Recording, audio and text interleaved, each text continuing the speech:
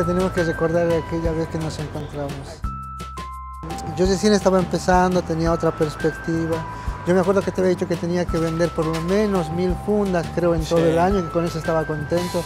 Y ahora digo, no, ya vendí, creo que debo estar por las dos mil fundas, así que... Mi nombre es Nelson Álvaro Choque y mi emprendimiento consiste en eh, fabricación de fundas y bolsas en tela ecológica.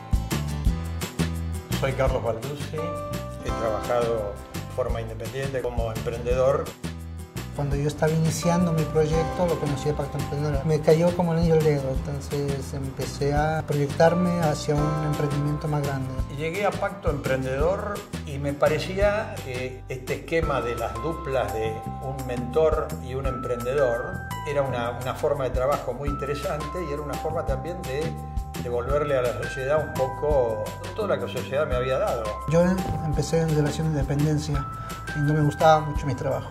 Entonces decidí hacer algo que me gusta. Y a mí me apasiona hacer lo que estoy haciendo.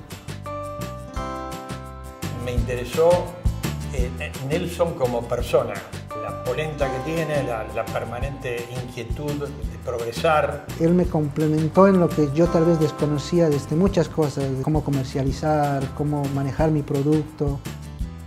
Yo lo que presto es el oído y en algún momento haber confirmado que el camino que él estaba tomando era correcto. Lo que yo les recomendaría a los demás emprendedores que están iniciando este camino es que no tengan miedo y que se apoyen en programas como Pacto Emprendedor, que buscan que el emprendedor tenga las armas para poder defenderse en el mercado laboral o comercializar algún producto que ellos puedan fabricar.